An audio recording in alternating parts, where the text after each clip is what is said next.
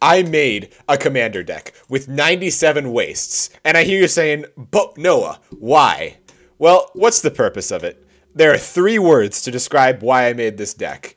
All right, asserting dominance. Cabbage. All right, so you have other commanders like and decks like Muldrotha the Gravetide. You got swamps, islands, and forests. So you have black, blue, and green mana. And it, you know, they say they want color mana, but in reality, they need color mana. They're pretty much just an addict for colors, and they can't live without it, and it's pathetic. It's just like those kids with their frickin' vapes nowadays. You know, they're just addicted to them. And, you know, whenever I'm out and about and I see a kid with one of these vapes that looks exactly like this, I make sure to make fun of their lungs because I'm a good person. All right. Anyways, where was I? Uh, oh, yeah. All right. So 97 wastes. We don't need color, and we've ascended past the need for color completely. Now, I know what you're saying. Yeah, I already made this deck, yes, but I kind of messed up that video, uh, and I did it wrong, so I'm doing it again. Uh, what's the commander? We have Codie Vocifalo Velociraptor Codex. Alright, so we can pay his cost using the wastes that we have. And then, using his ability, we can also get colored mana, which is really cool. And Noah, did we not just spend the last 30 seconds talking about why color is bad? Well, with Codie Velocifor Velociraptor Codex, what is this? What is, well, this is an exception. All right, here's why. Colorless is a color. It, uh, see, it literally has color in the name. And if you say, well, it has less in the name too, well, then you're being colorist. So how do you like them apples? All right. And also, furthermore, white and black are colors in Magic the Gathering, but they're technically just shades. So you don't have to be a color to be a color in Magic the Gathering. That's all I'm saying. All right. So we have Codie Velociraptor Codex. It essentially just says four mana, get more mana. Next spell you cast, casts another spell. All right, that's all you need to know. And then the, it has a little caveat that says you can't cast permanent spells. We don't worry about that. All right, we play Codie after ramping out. Then we wait a turn and we play a waste. Then we wait another turn and we play a wastes. And then we tap Codie, we get WUBRG mana, and then next up, we have the next card, number 02 in the deck, Approach of the Second Sun. All right.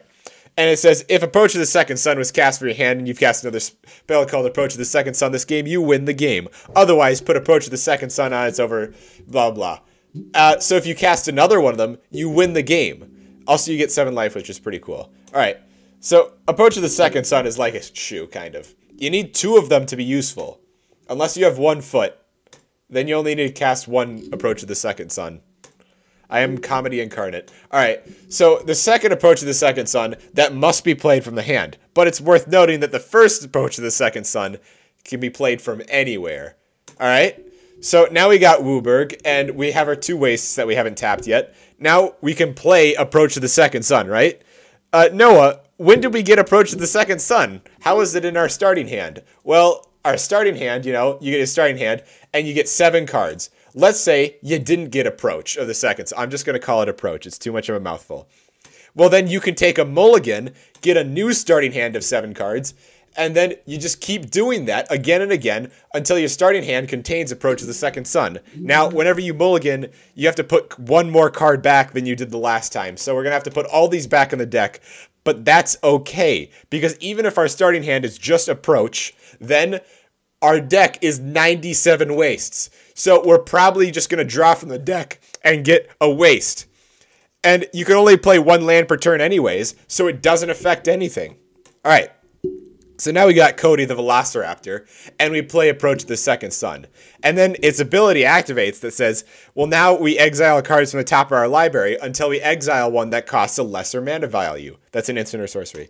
All right, and this brings us to card number three, Narset's Reversal. So let's say you got a cool card and you want to cast that card twice.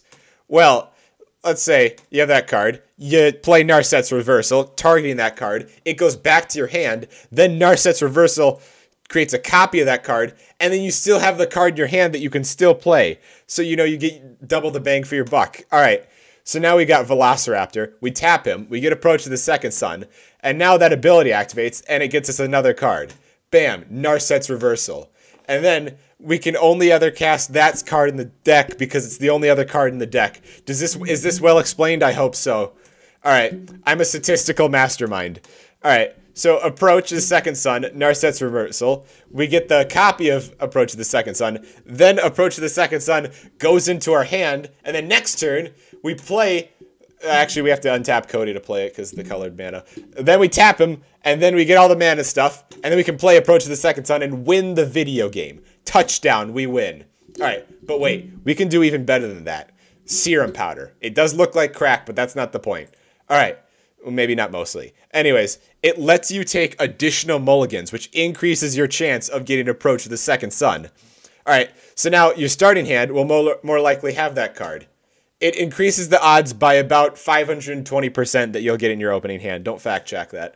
All right, so then we have Velociraptor here. And with his ability, now it gets approach to the second sun, but it won't get Serum Powder because it's not an instant or sorcery. All right, so now we have these three cards, but there is a problem. All right.